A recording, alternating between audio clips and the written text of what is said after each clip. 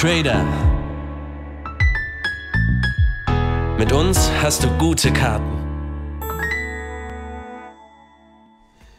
Ich begrüße euch recht herzlich zum dritten und letzten Duell des heutigen Quarantäne-Streams. Der gute Nils ist nach wie vor da und wir steigen mal ein in das letzte Match des heutigen Tages. Viel Spaß beim Zuschauen und dann ringfrei für das Finale Runde 3. Sechs. Fange ich einfach mal an. Mach das mal. Ich sehe schon, dass ich gleich wieder nicht mitspielen darf. Quatsch.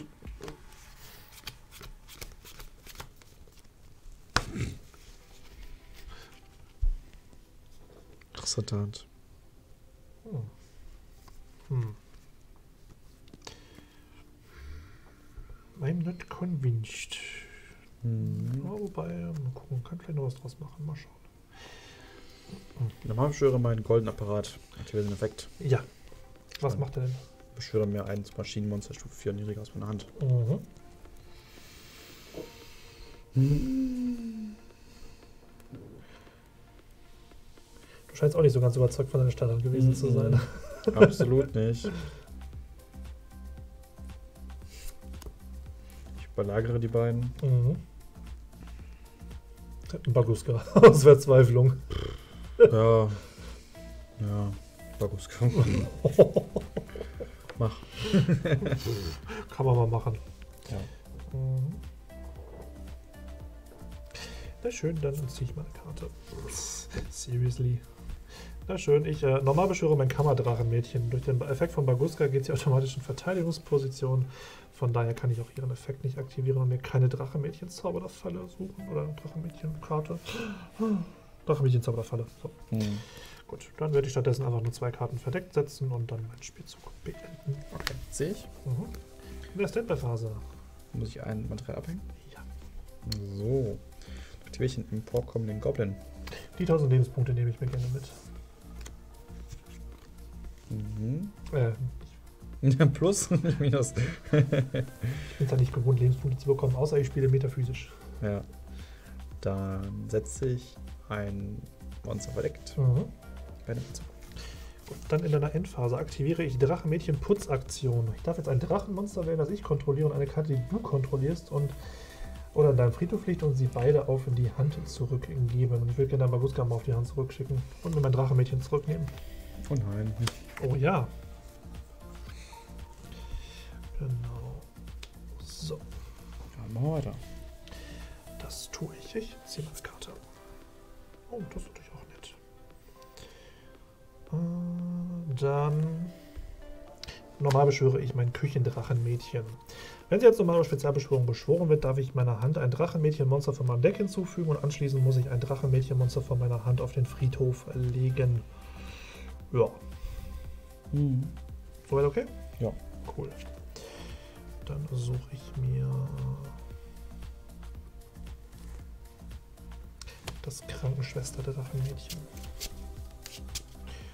Und parke es auch direkt auf dem Friedhof. Nochmal Durch ihren eigenen Effekt oder wie? Oder? durch den Effekt von dem Küchendrachenmädchen. Okay. Also ich suche mir erst ein Drachenmädchen und muss dann eins abwerfen. Okay. So, und am Beginn der Battlephase, das haben die ganzen kleinen Drachenmädchen halt gemeinsam, kann ich sie auf die Hand zurückgeben und dann ein Drachenmädchen-Monster beschwören, das äh, fünf Stufen höher ist als ihre eigene Stufe. Also die Level 3er beschwören ein Level 8 Drachenmädchen-Monster Mhm. von Hand oder Friedhof und die Level 2er beschwören ein Level 7er Drachenmädchen. Okay. So. Dann.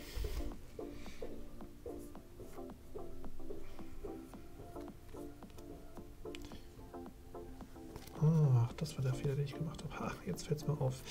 Gut, aktiviere ich meine Gastfreundschaft der Drachenmädchen. Damit darf ich ein Drachenmädchenmonster als Spezialbeschwörung von meiner Hand oder meinem Friedhof in Verteidigungsposition beschwören. Und dann ein Drachenmädchenmonster mit derselben Eigenschaft, aber in einer anderen Stufe von meinem Deck auf den Friedhof legen. Da würde ich mir dann ganz gerne mein Krankenschwester-Drachenmädchen einmal zurückholen wollen. Mhm. Und ein Drachenmädchen mit der gleichen Eigenschaft, also eher von meinem Deck auf den Friedhof legen. Da haben wir dann das Drachenmädchen Rentnerwachskeks.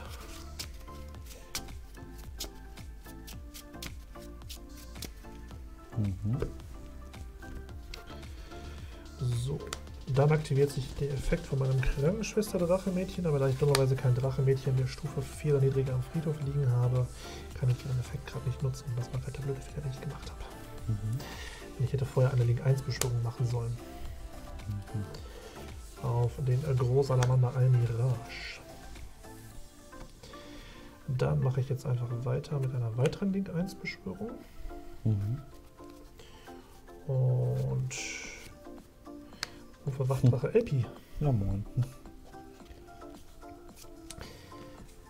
Ist aber gut, dass ich noch ein paar Alternativen habe. Ich aktiviere den Effekt von meiner Drachemädchen-Putzaktion im Friedhof. Ich darf nämlich vom Friedhof verbannen, um ein Drachemädchen-Monster als Spezialbeschwörung von meiner Hand oder meinem Friedhof in Verteidigungsposition zu beschwören, aber es wird während der Endphase auf die Hand zurückgegeben. Mhm. Und den Effekt nutze ich mal, um mein Krankenschwester-Drachenmädchen zu beschwören. Mhm. Und dann aktiviere ich den Effekt und hole mir mein Küchendrachenmädchen auch nochmal zurück. Okay. So, dann machen wir jetzt eine Link 2 Beschwörung. Und spendieren uns einen, einen gekreuzten Rosendrachen. Mhm. Effekt Wachdrache LP. Wenn ich äh, zwei Linked-Monster kontrolliere, die auf die gleiche Zone zeigen, kann ich einen Drachen aus meinem Deck beschwören. Das Ja. würde ich gerne mal machen. So, dann beschwören wir.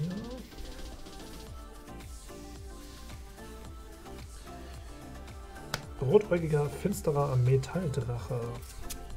Mit seinem Effekt darf ich einmal pro Spielzug einen Drachen aus meiner Hand oder meinem Friedhof als Spezialbeschwörung beschwören. Und den Effekt würde ich gerne aktivieren wollen. Mhm. Und dann beschwöre ich mein Kammerdrachenmädchen.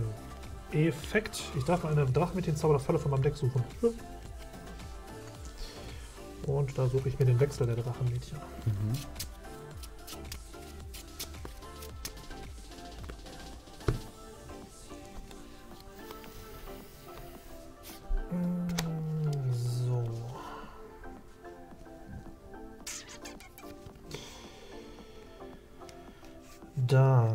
Aktiviere ich den Wechsel der Drachemädchen. Das ist im Prinzip eine Fusionskarte. Ich darf jetzt ein Drachemädchen-Fusions- ein Drache-Fusionsmonster beschwören und dafür das passende Material von Hand- oder Spielfeldseite benutzen. Mhm. Und ich darf ein Drachemädchen-Monster auf dem Spielfeld wählen, wenn sie im Friedhof liegt, das gewählte Monster auf die Hand nehmen und die Zauberkarte ebenso.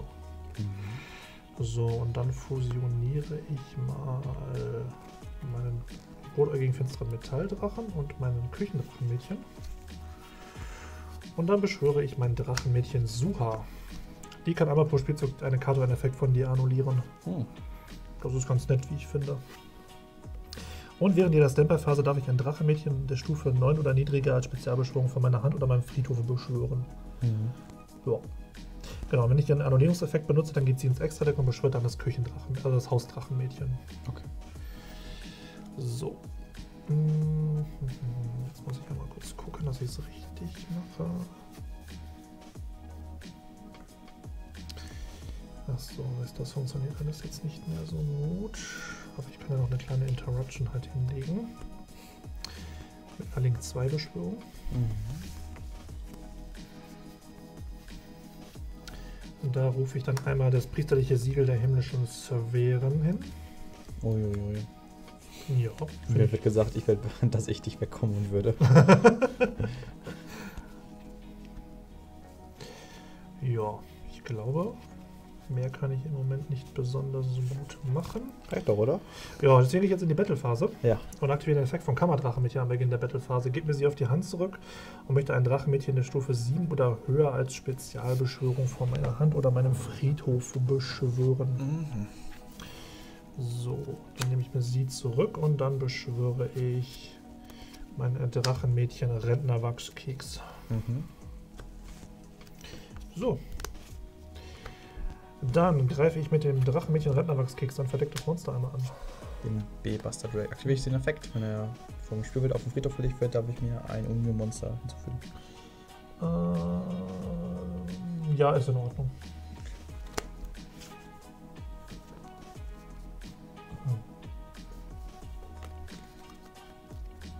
Oder? Warte mal.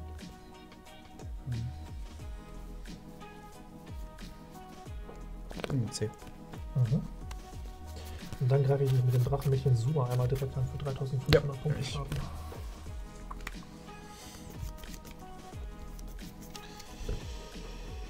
Gut, dann gehe ich in die Main äh, gehe ich ans Ende der Battle-Phase und aktiviere den Effekt von meinem Rentnerwachs-Keks. Und dann darf ich nämlich jetzt sie einmal auf die Hand zurückgeben und dann ein Drachenmädchenmonster der Stufe 2 als Spezialbeschwörung von meiner Hand beschwören. Da ich keins habe, fällt das leider sogar raus. Hast du doch mal Glück gehabt. Hat jetzt einfach liegen. Ja, Okay. erstmal. Dann bist du dran. Dann ich. Mhm. Stamper Main. Mhm. Also der kann was bouncen und der kann Effekt annullieren. Der kann alles annullieren, ja. Alles. Alles. Monster, Zauber oder Falle. Mhm. Toll. ähm, dann mal beschwöre ich mein äh, C-Crush weiter. Mhm. Was macht der? Der. Wenn er äh, also wenn er vom Feld auf den Friedhof äh, jetzt geht, dann darf ich ein Union-Monster aus meiner Hand beschwören. Mhm. Wenn er was ausrüstet, ist das unaffected von Fallenkarten. Mm, Dann würde ich gerne den Effekt vom priesterliche Siegel der himmlischen Sphären anketten wollen. Dann gebe ich dir den auf die Hand zurück. Dann der zweite Effekt, weil er als Tribut angeboten wurde, darf ich jetzt ein Drachenmonster aus meinem Deck beschwören. Hat aber null Angst und Verteidigungspunkte. Da beschwören wir.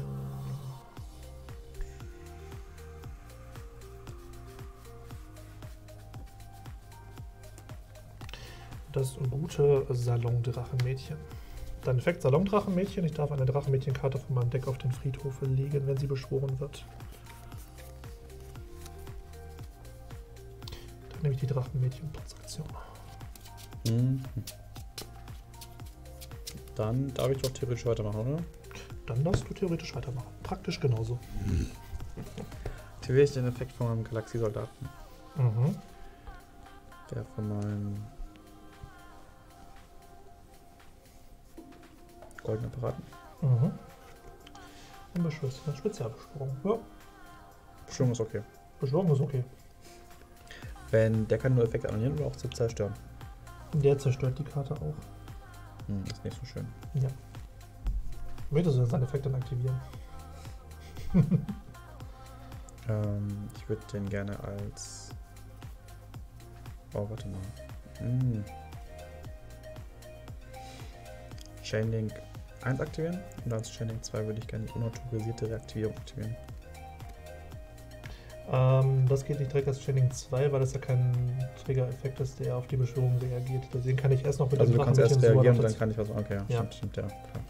Gut, dann möchte ich den Effekt von Drachenmädchen Sua einmal anketten und den Effekt von Galaxie-Soldaten annullieren. Und zerstören. Genau. Genau, und dann geht diese Karte ins Extra-Deck und ich beschwöre ein Hausdrachenmädchen als Spezialbeschwörung. warte mal, lesen. Ja.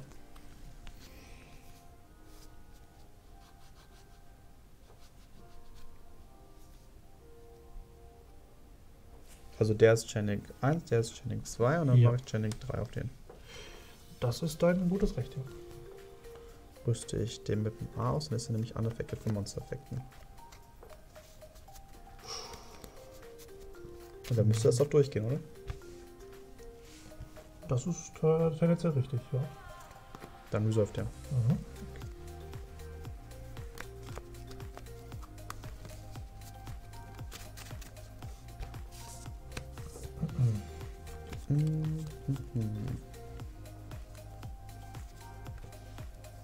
Den zweiten Effekt. Also Mhm. den gleichen nochmal. Ja. Jetzt nicht, jetzt nicht nochmal suchen. Den hast du sowieso nur am Spielzug machen, den Sucheffekt. Genau. Mhm. Dann auf die Beschwörung würde ich gerne reagieren wollen und aktiviere mein vom Grab gerufen und möchte ganz gerne einmal das C aus dem Friedhof verbannen. Nein. Doch. Dann belagere ich die beiden. Mhm.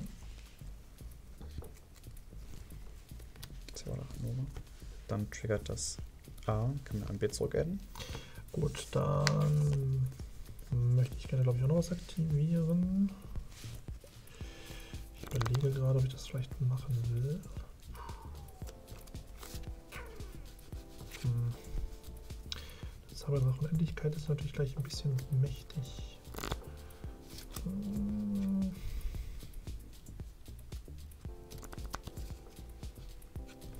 Du möchtest was machen?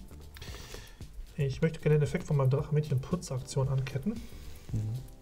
Und ein Drachenmädchen-Monster aus meinem Friedhof beschwören. Das wird aber während der Endphase dann auf die Hand zurückgegeben. Mhm. Genau. Dann beschwöre ich mein Krankenschwester-Drachenmädchen. Ja. Und durch ihren Effekt möchte ich gerne ein äh, Drachenmädchen der Stufe 4 niedriger von meinem Friedhof zurückholen. Ja. Nämlich das Küchendrachenmädchen.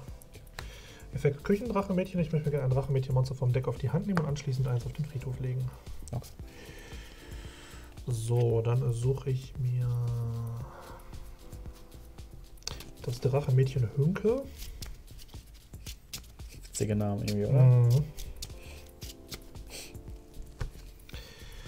Und trenne mich von meinem Drachenmädchen.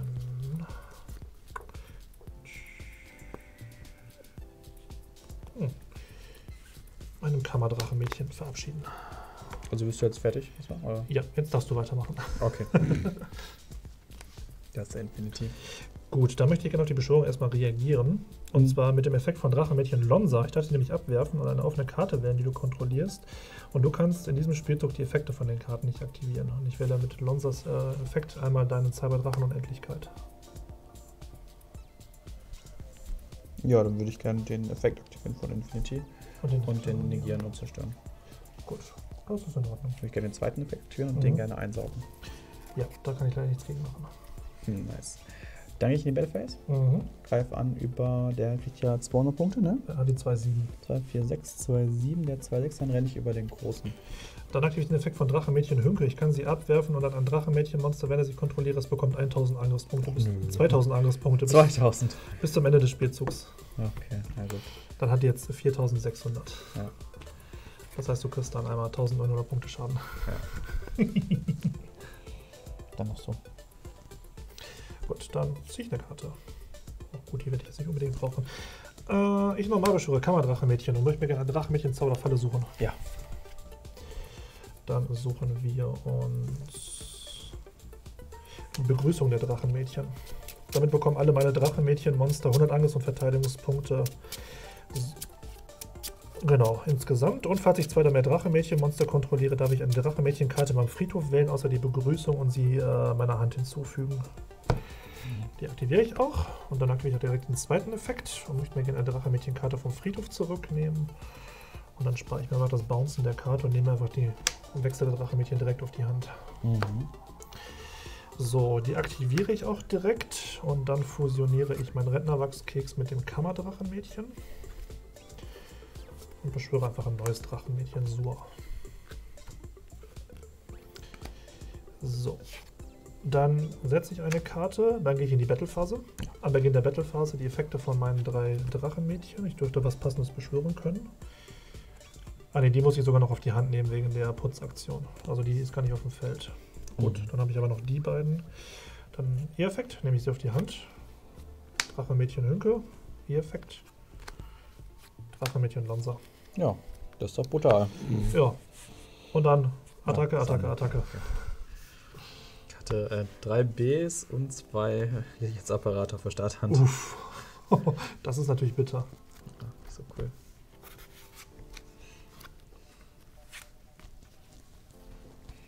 Gerade gerufen, nimmt mein C weg. Also, Da war es auch, echt ein Glückstreffer, dass ich die noch auf der Starthand hatte. Ohne die hättest du mir jetzt aber den Dra- Dragonbuster hingelegt und dann hätte ich auch geweint. ja. Dezent. Vor allem das Deck braucht halt auch ein bisschen Vorlaufzeit, um halt auch reinzukommen ins Spiel. Deswegen. Mhm. Fans auch ein bisschen. Ja.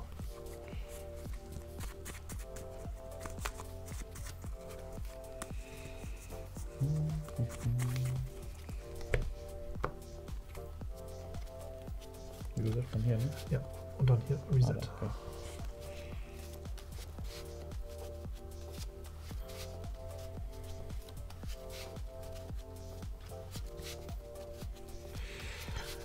Äh, Nick, das hat einen gewissen Grund, weil ab und zu gibt es auch einige Follow-up-Sachen, die man halt machen kann, wenn man äh, sein Feld entsprechend aufgebaut hat. Muss nicht immer der Fall sein, aber es ist manchmal ganz äh, durchaus sinnvoll, halt die Beschwörung so weit durchzuziehen, wie es halt möglich ist. Ja, man weiß ja nie, was der andere noch Hand hat, ne? Eben genau. Bei den Drachenmädchen ist es tatsächlich so, wenn ich sie auf der Hand habe, die ganzen kleinen Mädchen, kann ich die Effekte halt in der Mainphase 2 im Zweifelsfalle noch nutzen, wenn ich sie nicht im gleichen Zug beschworen habe. Dann fange ich mal an. Ja. Das ist ein gutes Recht. Mhm. Dann beschwöre als Launcher meinen goldenen Apparat, aktiviere seinen Effekt. Ja. Beschwöre das C-Quash-Schweibern aus meiner Hand. Mhm. aktiviere ich die unautorisierte Reaktivierung auf mein C. Mach mal. Rüste das mit einem Union Driver aus meinem Deck aus. Mhm. Aktiviere ich seinen Effekt, den verbanne ich. Mhm. Darf jetzt das Sequoia mit einem anderen Union-Monster aus meinem Deck ausrüsten. Das hat jetzt Mhm. nicht mehr die Einschränkung, dass ich es jetzt nicht in der Runde als Spezialbeschwörung kann. Mhm. Das heißt, ich würde meinen B ausrüsten und das dann auch direkt so als Spezialbeschwörung zu beschwören, also Mhm. Union ausklinken. Ja. Ähm, dann würde ich B und den Gadget weglenken. Mhm. In Blocker. B-Effekt. Ja. Sucht mir das fehlende A.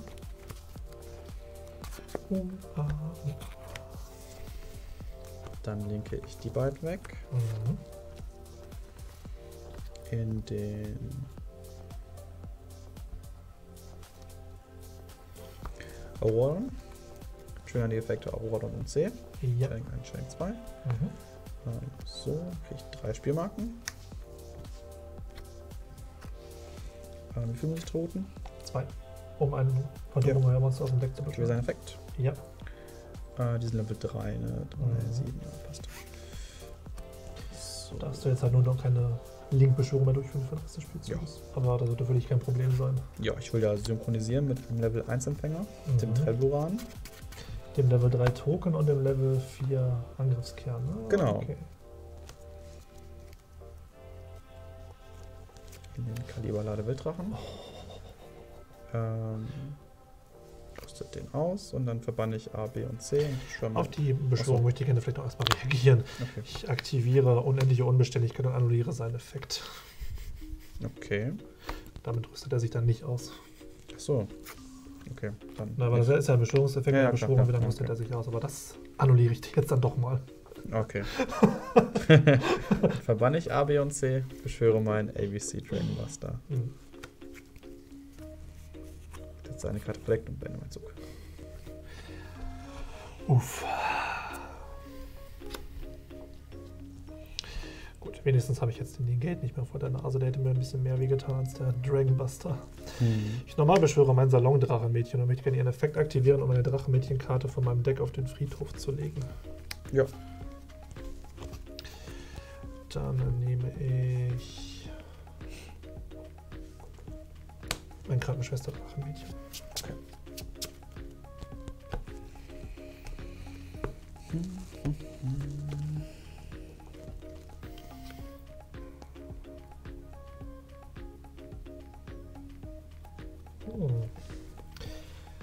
Effekt Drachenmädchen Lonsa. Ich würde gerne den ABC Drachenbuster als Ziel wählen und äh, dich daran hindern, in diesem Spielzug seine Effekte zu benutzen.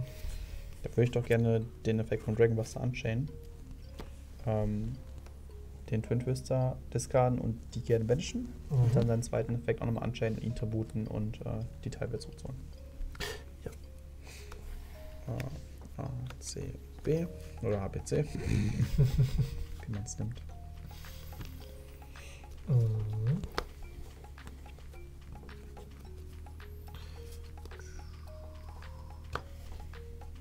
Macht nichts, komme ich dran vorbei. Oh, okay. Ich aktiviere Wiedergeburt und würde mir ganz gerne einen ABC Drachenbuster mal Oh ausleihen. Oh ja, einfach weil Spaß macht. Und ich habe noch eine andere schöne Karte.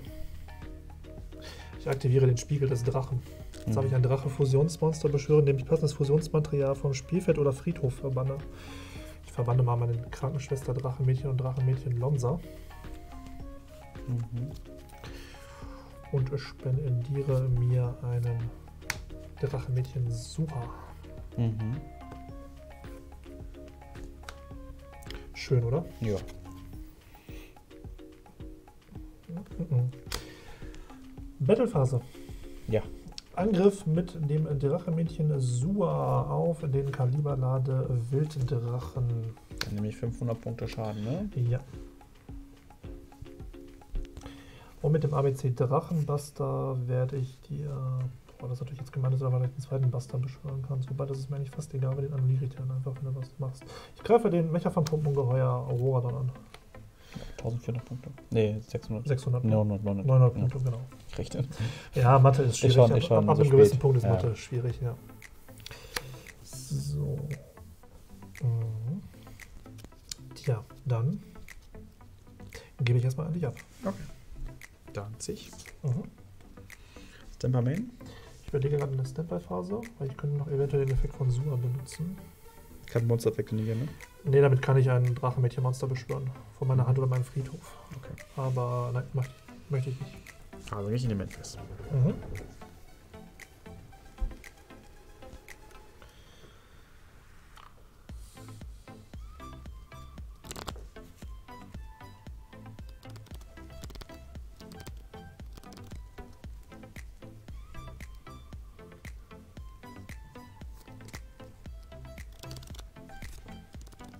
Negieren und zerstören, ne? Mhm. okay.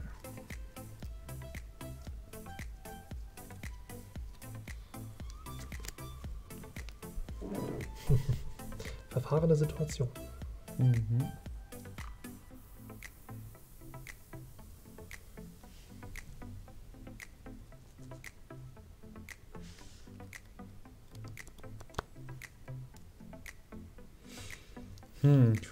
Verklingen, aber irgendwie auch nicht. Kann ich sehr gut nachvollziehen. Karten eine, ne? Eine Handkarte, ja. Dann negierst du mir das, dann ist der weg. Dann suche ich. Ich versuch's einfach. Ich link alle meine. Oder? Ich link erstmal. Ich link alle drei weg. Mhm. Ich alle drei auf jeden Fall sicher im Friedhof. Äh, Mutter Einhorn.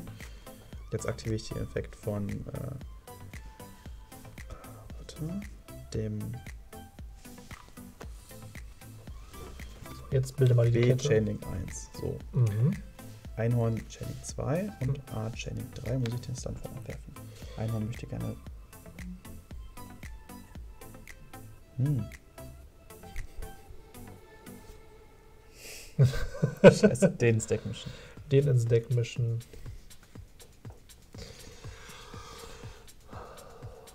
Ja, nee, ist okay. Da werde ich.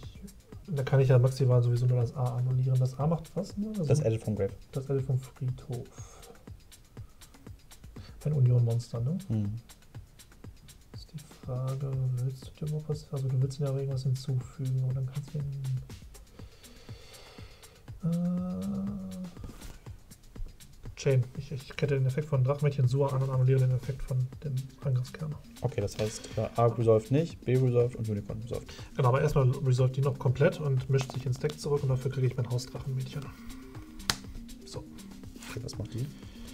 Das Hausdrachenmädchen kann während der Standby-Phase ein anderes Drachenmädchenmonster wählen, das ich kontrolliere, und dann ein Drachenmädchen von meinem Friedhof beschwören, das einen anderen Namen als das gewählte Monster hat und eine Stufe höher oder niedriger ist.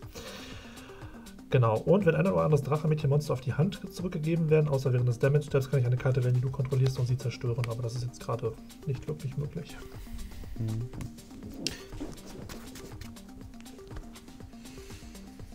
Also, was nochmal? Also, der kann sich quasi austauschen oder was? Nee, sie, gibt nur, sie zerschießt nur Karten, wenn, wenn Drachenmädchen auf die Hand zurückgegeben werden. Und beschwört, und, und beschwört während der Standby-Phase Dinge, wenn ich andere Drachenmädchen auf dem Feld habe. Okay. Dann verbanne ich A, B und C. Mhm. Mhm.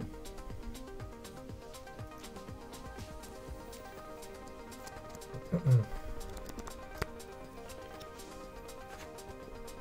Ausführe ich das an? Das finde ich schön. Dann aktiviere ich den Effekt von ABC Drachenbuster. Ich werfe eine Handkarte ab und möchte gerne deinen ABC Drachenbuster verbannen.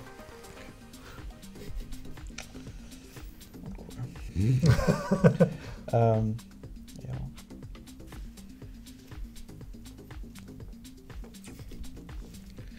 So, dann, ähm, Link 4 Zugangscode-Sprecher. ja. Jetzt sag nicht, dass du den drin hast. mhm. Ah, belastend. Effekt A auf Einhorn. Ach, der kann ein beliebiges Monster ausrüsten? Oder nur ein Maschinenmonster? Ein Nicht-Maschine-Monster. Ah, okay, dann das nicht. Ja, dann bist du. Gut, dann ziehe ich eine Karte. Hm, toll. Äh, Battlephase. Ja. Angriff mit dem Drachenbuster auf den Atomritter Einhorn. Für 800 Punkte Schaden. Jo. Und der Hausdrachenmädchen greift den Angriffskern für 1100 Punkte Schaden an. Und dann beende ich meinen Spielzug. Ja, das kann man so. Mhm. Alles gut, ja, ich ziehe. Onion Hunger. Uff. Ist die Aktivierung okay? Ja, ist in Ordnung.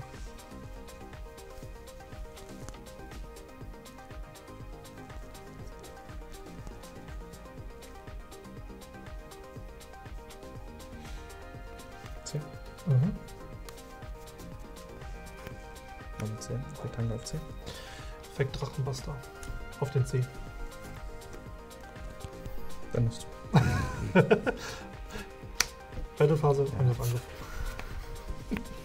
Ja, mein Plan war es halt mit dem A, wenn ich das Normal und dann A mit Dragon Buster ausrüste. Und dann, Mm, wenn du jetzt nicht so schnell gewesen wärst und den direkt verbannt hättest, dann wäre es unaffected gewesen, der Dragon Buster von deinem Ja. Dragon Buster. Und dann Ja. hätte ich sicheres Spiel gehabt, aber du warst zu schnell. so weit habe ich es nicht kommen lassen. Ja.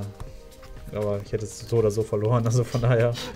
ich hätte maximal mit meinem Dragon Buster 3 noch banishen können, aber dann hättest du immer noch das Drachenmädchen gehabt. Von daher, also Ja, genau. Wobei dein Drachenmädchen wahrscheinlich noch eine größere Chance gehabt hätte, als wenn ich jetzt beide behalten hätte. Aber, na gut. Soll schon mal passieren. Genau. Und ein Duell haben wir ja noch, also von daher. Genau. Doch relativ gut bezahlt, oder? Ja, das kriegen wir wohl jetzt hin.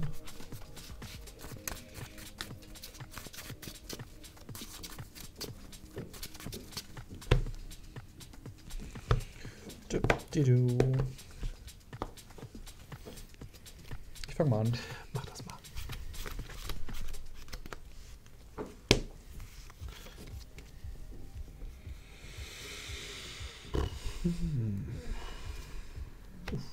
Effekt vom Galaxiesoldat. Mhm. Ja. Dann sucht immer noch einen weiteren Galaxiesoldaten. Ich rieche hier schon den Cyberdrachen der Endlichkeit.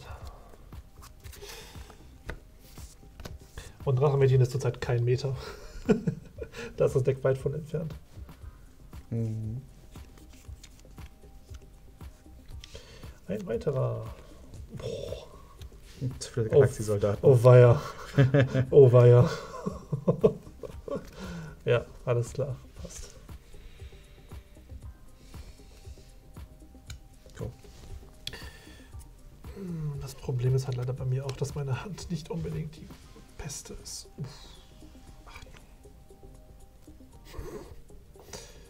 Hilfe. Wie viele Angriffspunkte hat er gerade? 2600, ne 700 hat er. Ja, 2-7. Boah, jetzt kommen schon die Verzweiflungstaten hier raus.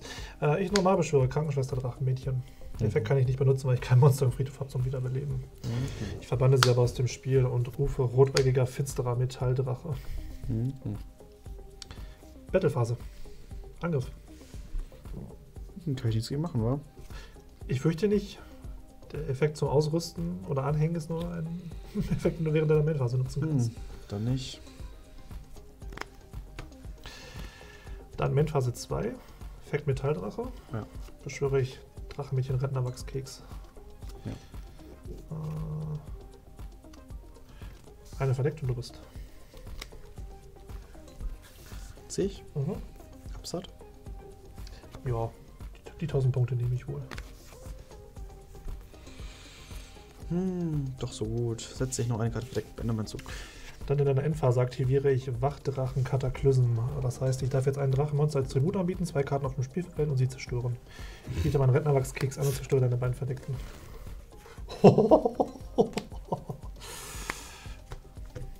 Gut, ziehe ich eine Karte. Effekt Metalldrache.